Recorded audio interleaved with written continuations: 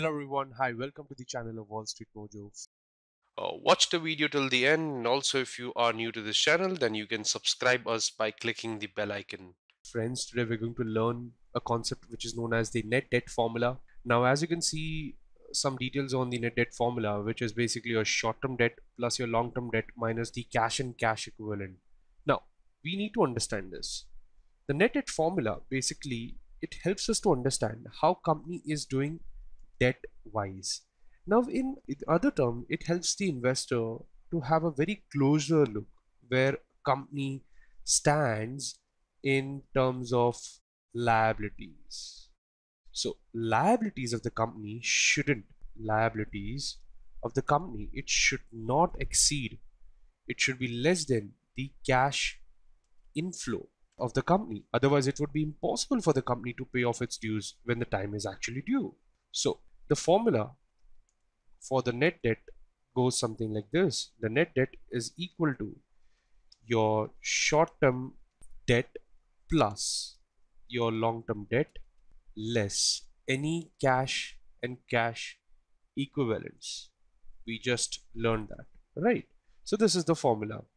We'll take an, a, a short example on this particular formula so that we have some good at least nearby idea what exactly is going on in this formula. And then we'll go to the interpretation part.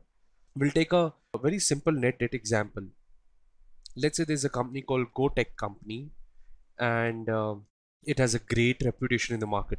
John is basically let's say John is basically a new investor and he knows that irrespective of the great reputation it is important to check the financial health of the company. So the financial information he found was something like this he got the data for the short-term debt of the company was something like this standing at $56,000 uh, he had the long-term debt uh, of the company standing at six lakh forty-four thousand dollars.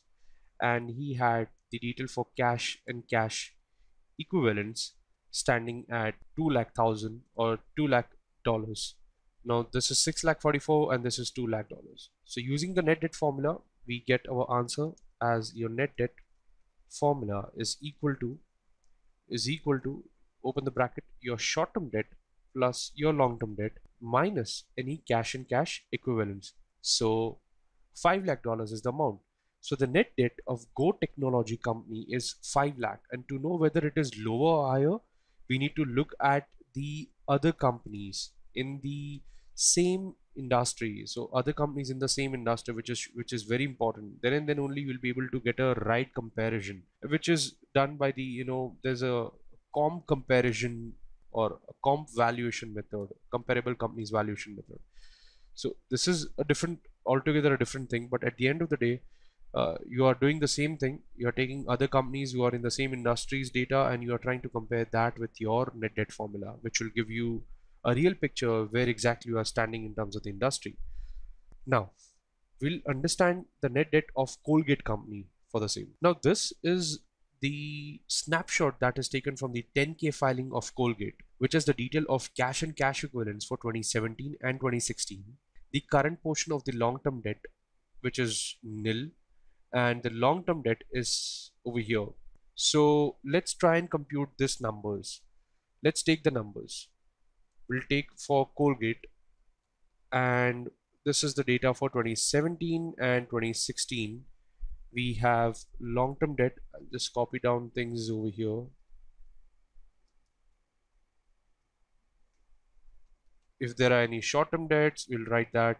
There is nothing so we'll write zero. The long-term debt we had standing at 6566 and 6520 6566 and uh, 6520 so and we had the cash and cash equivalents data that was standing at uh, 1535 and uh, 1315 so based on this you, can find the net debt formula as the short-term debt minus long-term debt divided less the cash and cash equivalent control R. So we have the data. Now if you apply the formula you you you get this answer 5031 and 5205 for the for the comp now based on this uh, we need to understand the explanation portion of this formula because that's the most important thing. In the net debt uh, formula, we have three components, as you can see now very well. The first and the foremost component is the short-term debt. Now, the short-term debts are called basically your current debts. Now, they can be due to, I mean, this can be due within less than one year. So current debts may include something like this short-term loans and uh, short-term payments if any. This is the second thing. Of the of the uh, of the long-term loans basically and so on and so forth. The second thing in the formula or the second component of the formula is basically the long-term debt. Now uh, the long-term debt is obviously due to the long run right but the companies need to make sure that the long term debt is paid off when it's due. And that may mean making a periodic payments uh, or you can say or paying at the end of the tenure. The third thing is the which is the last component in our formula is the cash and the cash equivalents. So cash and cash equivalents includes your cash on hand and a liquid investment liquid investment if any i mean with a with a maturity of uh, less than 3 months checking accounts treasury bills and so on and so forth. So idea is to see by removing the cash and cash equivalents basically it means that you know if all, how much debt would still be left? It means that if all the cash and cash equivalents are used to pay of the portion of the total debt of the company, how much debt would still be left for the company to pay off. Now, the next thing is the use that we need to understand. What exactly is the use of this particular formula? For every investor, it is really very important to know whether the company is doing well financially or not. So for the same, they need to check whether the company is in financial uh, distress, if any, or or not. And they use and they use the net debt formula. So this formula helps to understand the true financial stance of the company. Now a lower value is an indication that the company is doing quite well. And a larger debt a larger number over here uh, I mean a larger debt and a larger cash equivalence will result in lower net value. And it means that the company is in the great shape financially to pay off its uh, I mean uh, pay off its debt. On the other hand uh, a higher net value a higher net value is basically an indication uh, that the company has not been doing pretty well financially. So knowing this will help the investor in deciding whether they should uh, uh, invest in the company uh, in the stock of the company or not. Now here's the calculator for the net debt. You can put some numbers. Let's say for the short-term debt is 1 lakh dollars.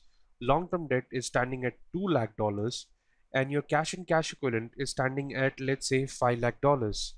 So your answer will be minus 2 lakh. That means if your cash is more then me that means you have 2 lakh extra window open to pay off your to operate in the business.